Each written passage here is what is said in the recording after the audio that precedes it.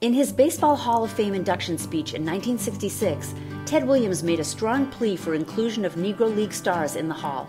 After the publication of Robert Peterson's landmark book Only the Ball Was White in 1970, the Hall of Fame found itself under renewed pressure to find a way to honor Negro League players who would have been in the Hall had they not been barred from the major leagues due to the color of their skin.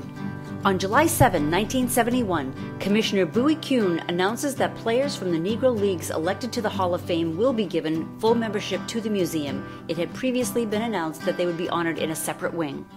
Satchel Paige was the first Negro League player inducted in 1971. In total, there are 35 players and executives who have been elected to the Hall of Fame from the Negro Leagues.